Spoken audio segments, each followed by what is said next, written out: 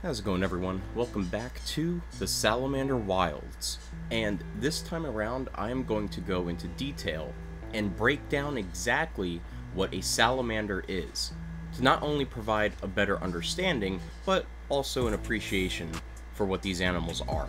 And I think this video would be especially helpful to those who don't know too much about these animals or to those who may be entering the hobby for the first time. So if you enjoy the video, please remember to leave a like, share, comment down below, and of course, please subscribe. Your support is very much appreciated. And don't forget to check out the description below for the links to the Salamander Wilds official Facebook page, Instagram, and Discord. So what exactly is a salamander? At first glance, you might think it's some sort of reptile, perhaps a lizard, they seem to crawl on all fours with a tail, just like a lizard, and yet salamanders live completely different lifestyles. They have different requirements altogether because they are not lizards or reptiles at all. They are, in fact, amphibians just like frogs. And that perhaps is the simple answer, but let's take this further and break down really what makes these animals so different from reptiles. Salamanders are tailed amphibians and are members of the order Caudata. This order not only consists of salamanders, but also newts. Salamanders can also be either terrestrial or aquatic, or perhaps semi-aquatic. Many species also have multiple life stages, and the habitat in which they live can change due to their life stage. As an example, the orange newt shown here, the eastern newt, goes through multiple life stages, starting out as an aquatic feathery-gilled larva, and then transitioning to the terrestrial red eft as shown here, and then eventually maturing into the olive greenish adult who then changes to an aquatic habitat.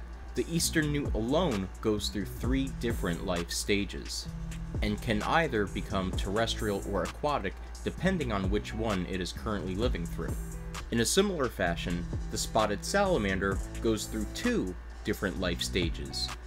The aquatic feathery gilled larva, and then over time, the larva will mature, losing the feathery gills and paddle-like tail that once made it suitable for water and then morph into the yellow spotted terrestrial salamander shown above. Then, there are salamanders that are considered semi-aquatic. These salamanders depend on cool, flowing streams or springs in order to survive, from the moment of birth and into adulthood. For example, the northern dusky salamander and the two-line salamander shown here are both lungless, stream-dwelling salamanders.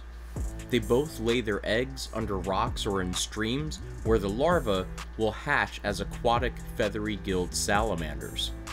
This aquatic stage of life will depend on well oxygenated, cool flowing streams until they morph, losing their paddle-like tail and feathery gills, eventually becoming the slender salamanders shown here. And because both of these salamanders are lungless, they depend on the moisture to breathe through their skin, and so they will not wander too far off from their aquatic habitat. Then there are salamanders that are completely terrestrial from the moment of birth, from the moment that they hatch from an egg and all the way into adulthood. An example of such a salamander would be the one shown here, the slimy salamander. This salamander is also a lungless salamander, meaning that it breathes through its skin, so even its terrestrial habitat must be cool and moist. Some salamanders are also completely aquatic from the moment of birth and all the way into adulthood. And one very well known salamander, of course, is the axolotl. Axolotls are neotenic salamanders, meaning they keep their larval traits into adulthood. Larval features include external feathery gills and a paddle-like tail, things that make them suitable for an aquatic environment. Many salamanders and newts end up losing these features as they grow and mature, just like the eastern newt once it morphs into the terrestrial red eft. However, some populations can also be neotenic for a period of time. And perhaps an even better comparison, spotted salamanders as they are in the same genus as the axolotl. And this is what makes the axolotl different, being able to mature and breed while retaining these features. Salamanders are also found all over the world, mainly in temperate climates accompanied by cool, moist environments. Although, there are a small number of salamanders that occur in tropical regions. With that said, most salamanders are found away from the heat and out of the sun, which is totally opposite from a lizard. These animals rely on moisture in order to survive. Due to this, many salamanders are found in cool flowing streams or ponds, and they also rely on rainy, wet conditions for their breeding season as well. Breeding season also takes place from late winter to early spring for many salamanders. This is a period of time where the temperatures through winter are just starting to warm, and the rains are also stirring up these salamanders to make massive migrations to their vernal pool breeding grounds. So, cooler temperatures and wet conditions play a major role in the lives of many newts and salamanders.